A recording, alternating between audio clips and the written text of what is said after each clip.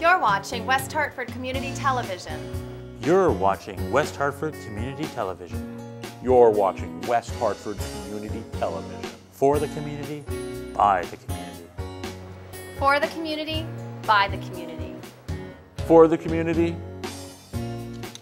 by the community.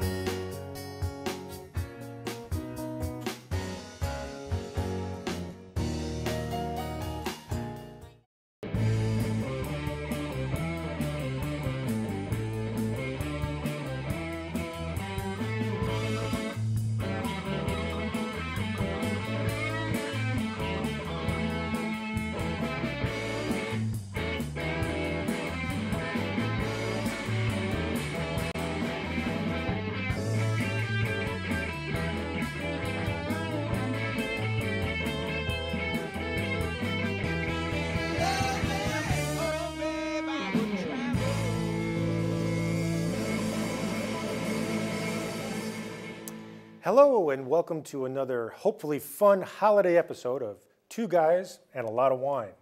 I'm your host, Bobby P., And I'm James Kimbrough. and we're really excited about this show. We're deviating from our little normal structure of white wines and red wines, and we're delving into these sparkling champagnes, which is so prevalent and fun for the holidays. And as our friends and the ladies like to say, where there's bubbles, there's troubles. So we're going to be having some fun talking about these particular three sparkling wines. And we do have to call them sparkling because of certain areas we'll get into later. And we're going to talk a little bit about the history about champagne and sparkling. And then we're going to have some fun drinking the My sparkling. favorite part of the show. The favorite part of the show. At the end of the show, I'm going to show you some great uh, gift ideas for people who like wine and sort of uh, obscure type gifts when it comes to wine. And I think what's interesting about champagne sparkling wine is some of the history and how it supposedly all started. And I think what's interesting about that is there are some contradictions. Some people think it's actually older than what it is. Some people say the actual idea of sparkling wine started in, I think, around 1600, I believe. 1521. If you go 1521. back far enough, uh, there were some Benedictine monks who, uh, by accident, produced a, a bottle that uh, fermented twice and ended up having some bubbly uh, effect to it. So that was uh, what started this whole trend. And there have been a lot of claims since then that it was uh, Dom Perignon who started this, and that was the 1600s. uh, That's right. that And with. I think to have some national conflict, some people think that the British actually invented champagne. I think uh, around the time of the early 1600s, French hadn't perfected a strong enough glass to actually hold Right. the pressure in of the bottles because they kept blowing up.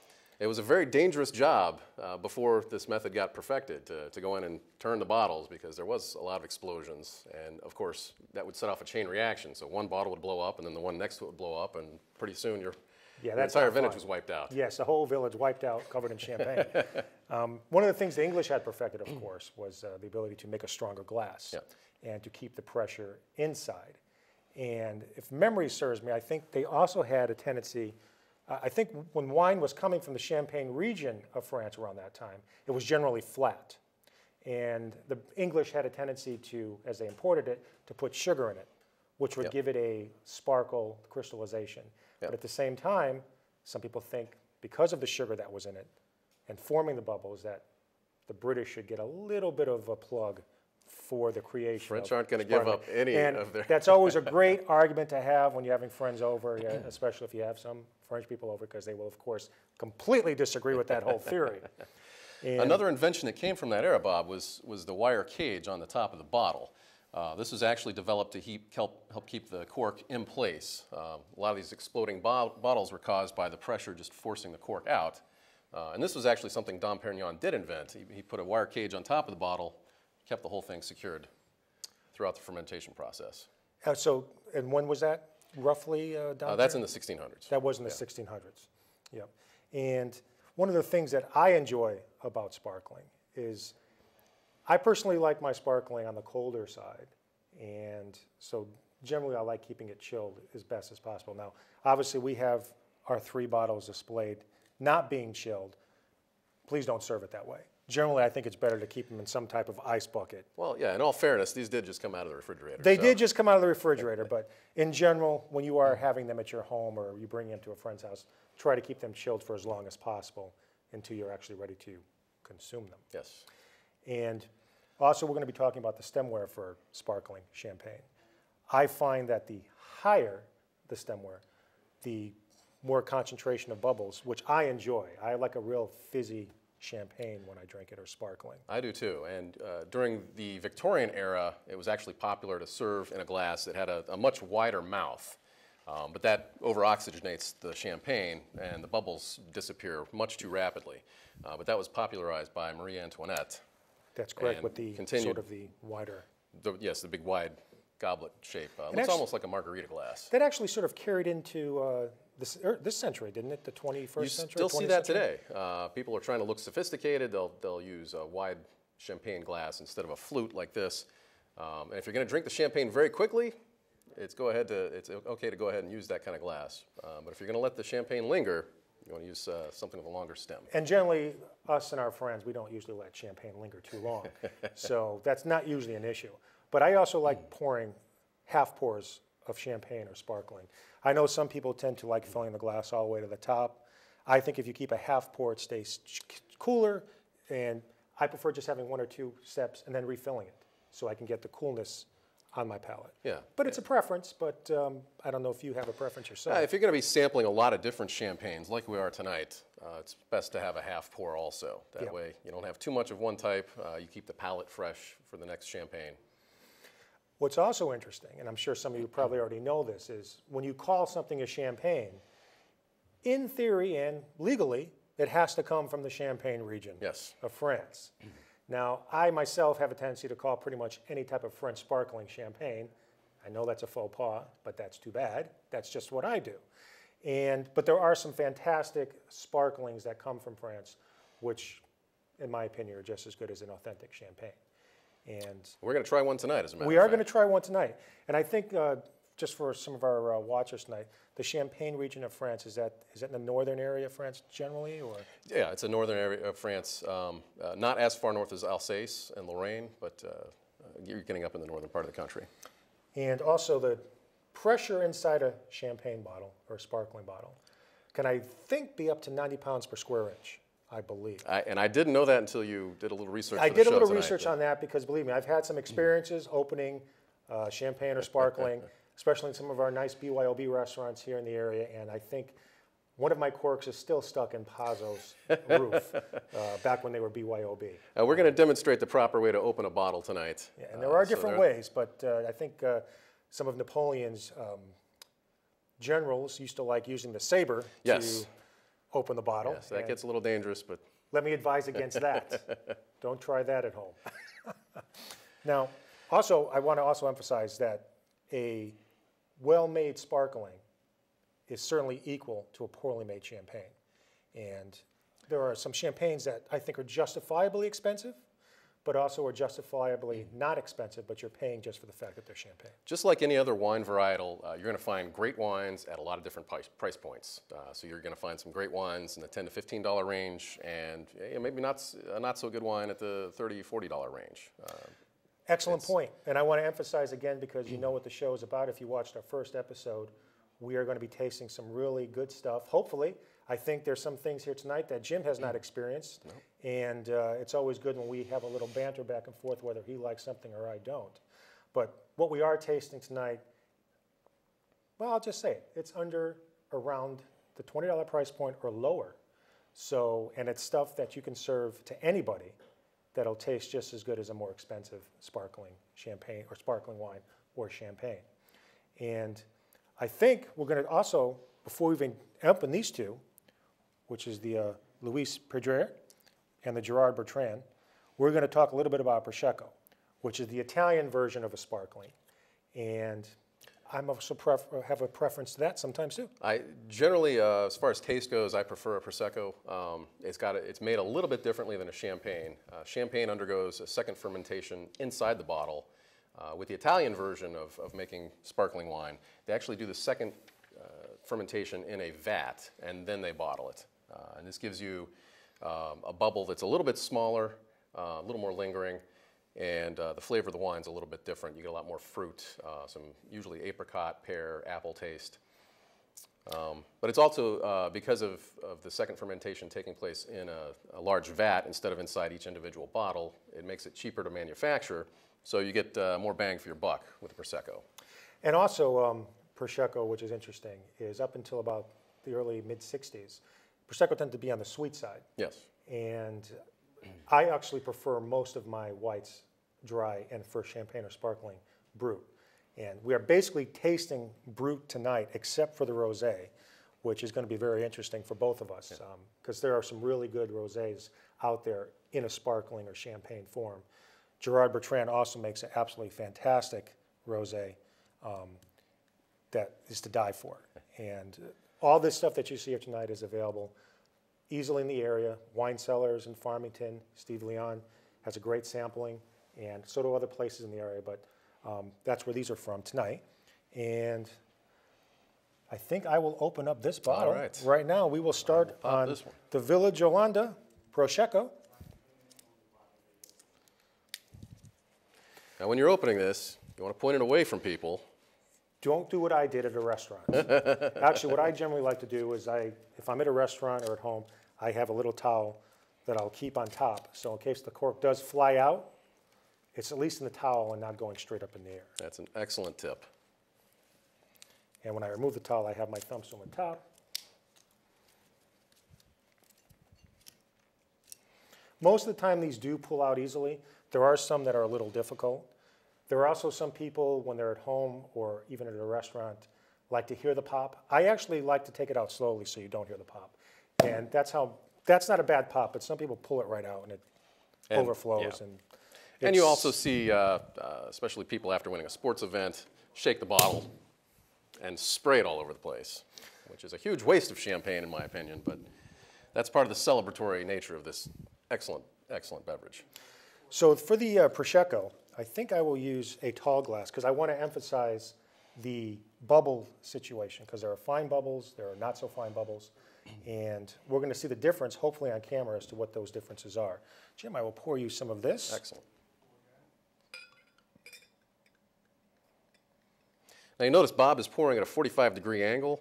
Uh, you're getting a lot of head on the, the champagne initially. That will dissipate almost immediately though. Uh, some people like to pour uh, straight in, which gives you uh, even more head on top of the champagne. And this is almost uh, like the, the beer wars. Absolutely. Some people want a lot of foam on the top and some people don't want any foam. Uh, but as you can see, the foam is gone now, and we're just down to the champagne. Yep. I think we should actually pour the rosé to compare, uh, maybe do a little comparison in regards to the bubbles. Now, I think you could already see a difference a little bit in the, uh, the head on this. There's actually not as many bubbles in this one. I could always already sense the bouquet. And when it comes to a rosé sparkling, I think Well, yeah, so you can see that the Prosecco has Absolutely. a lot more bubbles, and uh, they are smaller. They are smaller, absolutely. So let's give this one a shot and let's see what our palate says about this one.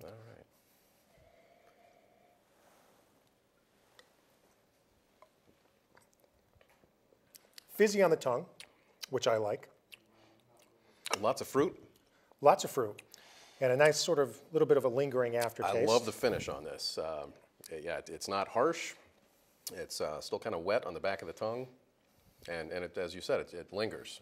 And there is a bouquet in champagne. Most people think, or I keep saying champagne, but just refer to that as both sparkling and or champagne. There is a bouquet, and uh, there should be. You should be able to smell something for sparkling. I get some floral notes with this. Yep. Absolutely. And I think most Prosecco, I think, has to come from the uh, Veneto region of Italy. I think just like Champagne, to call something a Prosecco, there's a certain area of Italy where it has to come from. Yes. And I do believe it's, it's the Veneto area per se, and I do think that's licensed. Yeah, So- Italy has uh, laws governing all this, uh, just like France. So they, they're trying to protect uh, the name that grows the grapes as well as protect the brand name of the uh, beverage that they're marketing. All right, let's try the rosé here. All right.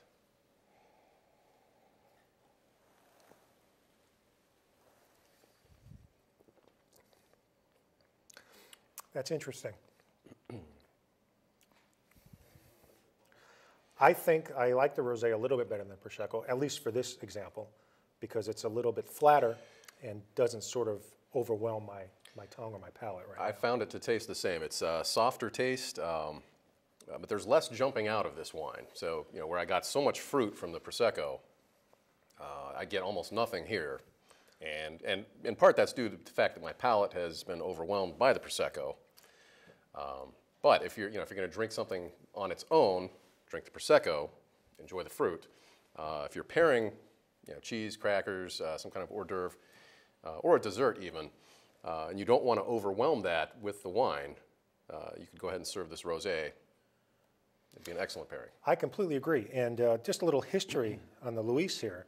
Um, it's made, not obviously in the Champagne region, though it is a sparkling, but it's made in the very similar fashion as all the most expensive champagnes are. And I think, if memory also serves me, is it the primary, they're aged in oak vats, I believe? And then they move to bottles. Then they move to bottles. And some of the ones like a Prosecco, I think, are used, are, they use steel. Right. which is why it tends to be a little bit more or less expensive. But in no way should that differentiate the flavor sometimes. But in this case, I think the, the Louis, and once again, I'm partial to French myself, I do think oak vats. do Well, when you, when you see uh, method champenoise, that's the, the French method for making champagne, uh, what that means is that they've, they've put the wine in the bottle and turned the bottle upside down. And then they pay someone to every day go in and twist the bottle just a little bit and give it a little tap in the case. So That's a nice job. It, it's it's uh, tough work, It but you're doing work. it thousands and thousands of bottles all day long, every day. Yeah, that is true. Um, so there's there's a lot of labor that's built into the cost of making a champagne. Um, and with a prosecco, you don't have that cost because all the fermentation takes place in the vat, and then they bottle it immediately. And I think a rosé, at least this particular one, is a blend of a Pinot Noir and a Syrah. I'm not sure that's the case for all rosés, but this particular This one I think particular is, one was a yeah, it was a Syrah Cinsault. Yeah, and I think this, especially for the holidays, turkey, ham, both these would pair very well. Oh, absolutely. And you really can't go wrong with either one of them, at least so far. I'm going to take another sip of this one. And the great thing is, uh, you know, anytime you break out the bubbly, you know it's a festive occasion. Uh, I, you don't even have to serve food. That's actually true. And a lot of times we actually don't serve food. We, uh, when we are with our, uh, our ladies or friends, that um, sometimes it's really just the sparkling that gets served, which, once again, that's why bubbles usually lead to troubles. And You want to move on to the Gerard Bertrand? yeah, I'm going to move on to the Gerard Bertrand. I think uh, we'll get back to these. I tend not to like sh- let champagne sit too long or sparkling sit too long in a glass. Um, it's not like red wine or white wine, but I think if it sits too long without being drank, it sort of you lose a lot of the flavor. That's my personal opinion. I don't know if you no, that, you're, you're correct. And you bring up uh, another good point here. Um, with when you're drinking Prosecco's, you want to drink those almost immediately. Uh, a lot of times people like to buy wine and, and store it for a while, and that's, that's excellent if you're drinking uh, red wines, uh, big, bold Cabernet Sauvignons. Uh, but with Prosecco's, uh, those are meant to be consumed almost immediately. Um, you can store them for up to three years. Some of the really good brands you can store for up to seven years. Um, but with, with the, the one we're going to drink tonight, you know, you buy it this year, you can drink it this year, you don't have to store it. Uh, it's, it's ready to be consumed. So, is there, an, in your opinion, from what you've experienced, how long could you store, in general, a sparkling or champagne if they're stored properly? I, uh, I wouldn't store one more than seven years. Um, They don't usually last that long for us. No. it's, uh, just, that's not usually a problem. All right. Now, Gerard Bertrand is a very interesting guy. He uh, was an ex-rugby player. He um, has a vast vineyard, I think over 250 acres in France, and he's a very traditional winemaker. And he's just up and coming here in this, this country. You cannot find this everywhere. Um, but if you can, like I said, it's locally available at wine cellars in Farmington. But it's a phenomenal value. now, I want to point out on the label, uh, this is a, a Cremant, uh, which means this is not from the Champagne region of France. Uh, this comes from uh, the Alsace region. So legally, they cannot call this champagne. They have to call it uh, Cremant or sparkling wine. An interesting side note, uh, there was a company in California that shipped 3,000 bottles of sparkling wine over to Belgium, but they made the mistake of putting champagne on the label. As soon as that arrived in Belgium, the Belgium authorities seized it and broke all 3,000 bottles. Terrible waste, That is a very terrible waste. all over a labeling issue. I'm crying a little on the inside after that story. Now I'm going to be very curious to see if we notice a bubble difference on this one. And I could already see a difference. That is a much thicker head, I think, than the ones we just had before. Hmm.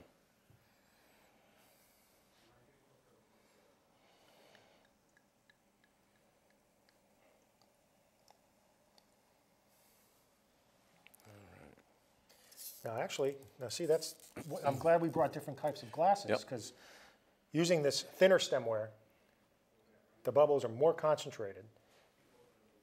And if you can see. Jim's, they're less concentrated. Stemware makes a difference. It does make a difference. And this goes back to preference. I like a more concentrated hit on my palate when I drink a champagne or sparkling.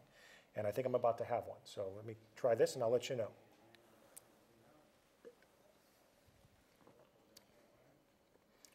Now that's more earthy. I get a, a creamier sensation from this. Definitely more earthy. I'm still tasting a little bit. I get some fruit at the end now, which was not apparent uh, on the initial tasting, but it's, as, it, as it lingers, as it fades away, a little bit of fruit. Actually, we could also compare the colors. For these two, they're about the same, the Prosecco and the Brut uh, Gerard Bertrand. I guess you would say it's like a pale straw color. Yes. And that's somewhat common, I think, for most sparklings. That's typical for sparkling wines. and for a rosé, you, the colors may or may not vary a little bit depending on what type of rosé you're drinking. Yeah, and again, this, is, this comes down to the winemaker's preference, uh, how much color they're, they're trying to achieve in the final product. Uh, and, and it's also a result of uh, the blending process. Um, you know, if they're blending certain types of grapes, Right. um, they're going to get a darker color or a lighter color. Now, for when you're having your Thanksgiving turkey or Christmas ham or whatever it is that you sort of imbibe with, what do you think pairs better with either a turkey or a ham? This goes back to my, my first rule of thumb from last, uh, last episode we did drink what you like. Um, you know, if you like a lot of fruit, um, I'd, I'd go with the Prosecco that we had tonight. Uh, if you want something that's going to kind of stay behind the scenes and just complement the food, um, uh, you could serve the Gerard Bertrand or the Rosé. I agree. And uh, for me, I par- particularly like the rosé tonight. And um, I think I might serve this for Thanksgiving. You found your holiday wine. I do. I do. like. All Let me take another sip of this one just to make sure that I'm not misleading you. I think that would pair great with a turkey. Now, some people might not agree with me, but that's okay. That's what this whole show is about. Tasting different things and coming to your own conclusions. Now, speaking of holiday wines uh, and gifts, I, I think you've brought a couple other items with you tonight. I have, and uh, I'm very excited about it actually. Um, for those of you with discriminating friends out there who want something different in the wine gift area, we have something very unique for both our hawk and dove friends. We all have some of both. This right here is an ammo box, but it's considered a box wine holder. So on this side, you have a general ammo box, but on this side, we have make wine, not war. And how this works is Now, you, you have to order wine you do. through the mail. You do have to order it through the mail. And the wine comes in a somewhat of a package. And this is available at um, the20wines.com. Now, this is similar to the boxed wines you see in the store. Correct. Uh, it's, it's just a plastic bladder Just with a a, bladder. nozzle on the end. And it goes right into the box. It makes a great gift. There's all types of wine available, available, and I would highly recommend giving it a shot. And what's what I think is so unique about it is I love causing controversy. So nothing causes controversy more than an ammo box. But when the conversation gets a little too political, you just turn around and say, "We're making wine, not war." And I think that's a great gift idea. Excellent gift. And they're also available in a more neutral, just a wooden box, which looks nice, but you're not going to get into those political arguments, which I sometimes enjoy doing. And it looks like that hold a bigger bag. it does hold a bigger bag. And since these have been sitting here for a few mm-hmm. moments, I wanted to ask you another question. Mm-hmm. When I drink a champagne or sparkling, I hold like this. Is that snobby, or do you think that's the way you should hold a glass? I, uh, if you want to call it snobby, call it snobby. Um, Because this show is not supposed to be about snobbing, but I, I get a little worked up when it comes to my sparkling, and I sort of like holding it like this you know, sometimes. there are a lot of different places to grab this flute. Um, the, the one thing I don't recommend doing is, is putting your hand here. That's going to warm the champagne or the sparkling wine, and uh, that'll destroy the flavor. Yeah, So- and once again, I want to emphasize, for me personally, I like a still chill in my uh, sparkling. So if I was in my regular environment, this would already have been gone. I would be on my second pour. I probably would have had a little bit less of a pour in here. So, but Yeah, when I, when I store these, I store them at uh, 46 to 48 degrees in a, a separate wine refrigerator. Um, if you put them in your regular refrigerator, it's going to get even colder than that. Uh, so you might want to pull them out uh, 30 minutes before serving them. it is about 30 minutes then. That's- That's what I figured. And when it comes to chilling these, uh, just a regular wine chiller is fine with a little ice in it, right? Perfect, yeah. And, a- and a great display item. And as we talked about in the last show, there are legs on both white wine and red wine. I don't know if there could be legs on sparkling from my Yeah, I mean, experience. You're seeing a little bit of res, uh, residue on the glass, but uh, you don't generally talk about legs. You don't, because generally you drink it too fast. And which is what's great about sparkling. I mean, everybody knows that they're for a festive occasion, whether it be a holiday or birthday or anniversary, whatever. So generally the pours are fast and easy and the drinking is fast and easy. But what I think I want people to be aware of that there are types of varietals of sparkling and champagne that can be appreciated just for what they are. A great tasting, bubbly sensation on the tongue. Absolutely, yeah, and, and uh, something we didn't even touch on tonight, uh, cavas from Spain. Uh, they're made uh, similar to the way Prosecco's are made, uh, but that's an excellent, excellent wine and a great value. And uh, we'll have to slip one into a future show. I was going to, but I actually did not think we would have time to do four sparklings tonight. But the cava is another one that I particularly enjoy. It tends to be on the dry side, though you can get sweet cavas, I believe. And just like Prosecco, uh, cava is a name that's unique to Spain, correct? Yes. It has to be from Spain to be called the cava.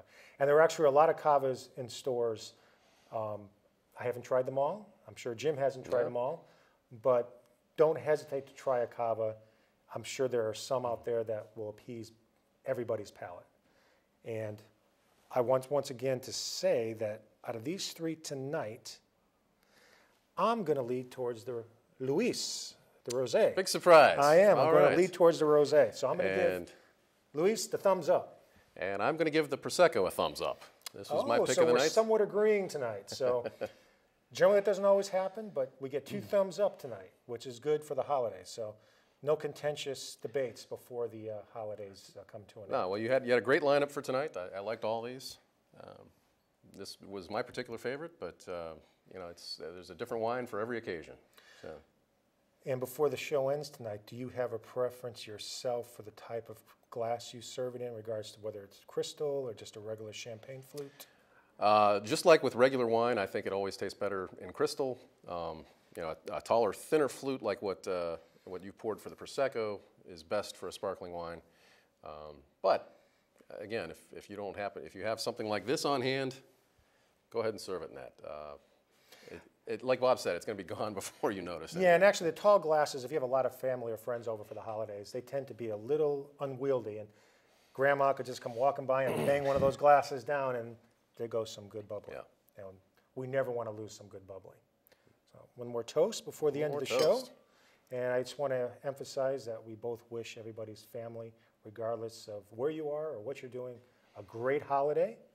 Drink responsibly, responsible, of course, and do not be afraid to try something that you may or may not have tried before when it comes to sparkling. Whether it's the Gerard Bertrand, whether it's the Louis, or whether it's Prosecco, or as we talked about before, the Cava, Cava. which we didn't get a chance to get to tonight. So, in Always conclusion.